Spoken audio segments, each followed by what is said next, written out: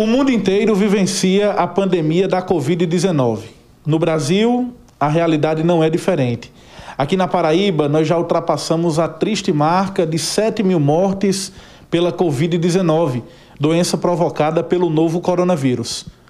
Diante desta realidade, outro mal coloca o mundo em alerta: o fungo negro. No nosso estado, na Paraíba, dois casos estão sob investigação casos que podem ser confirmados do fungo negro. E para falar sobre esse tema, nós viemos buscar o conhecimento de um sertanejo, o médico ginecologista, obstetra, doutor Oscar Sobral. Nós estamos numa pandemia. Quando se fala em pandemia, tudo pode aparecer, tudo pode acontecer. É... O fungo negro que está aparecendo agora já existia, ela já existia. Ela, esse fungo negro é um fungo que ele existe no solo, ele existe em adubo, e tem pessoas que são portadoras desse fungo no organismo. Só que, com a quebra da imunidade das pessoas, com a quebra da imunidade, ele começou a aparecer mais.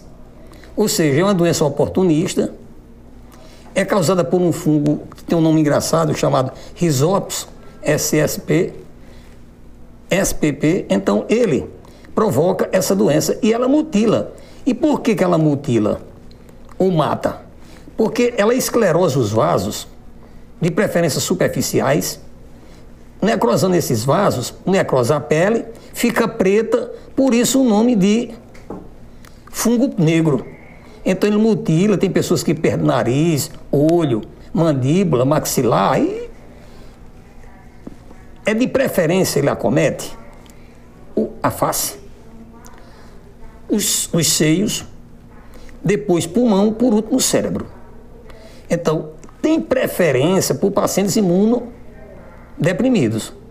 E é o que nós mais temos em Covid que são aqueles pacientes que estão internados, estão hospitalizados, usando corticosteroides, são drogas que diminuem também a imunidade das pessoas.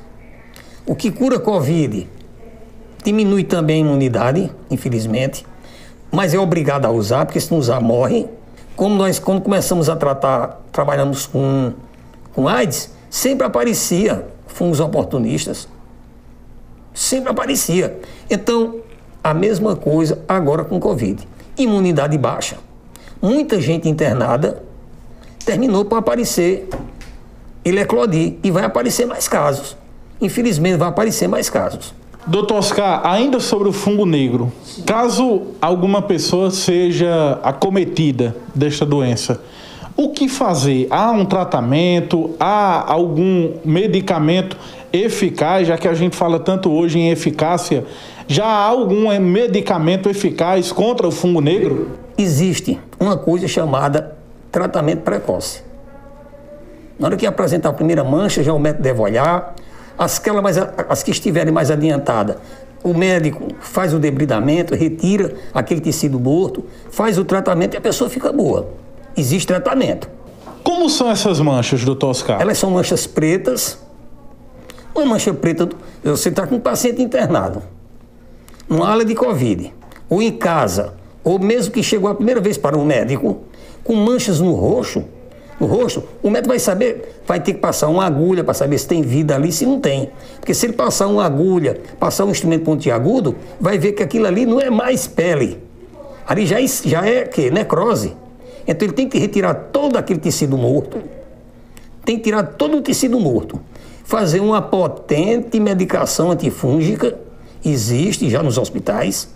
Então, não vou dizer o nome aqui de medicamento, é um assunto. Esse, o nome do medicamento que trata isso aqui já tem, acredito, já deve ter no Hospital de Cajazeiro, não tem nenhuma dúvida disso. Os hospitais do sertão da Paraíba, da Paraíba, estão prontos para atenderem possíveis casos do fungo negro, principalmente aqui no sertão? Estão, estão tranquilamente. Eu confio muito no Hospital Regional de Cajazeiro. Eu conheço meus colegas médicos de lá. Nós temos bons médicos no Hospital de Cajazeiras. Cajazeiros tem infectologista, Cajazeiros tem bons dermatologistas.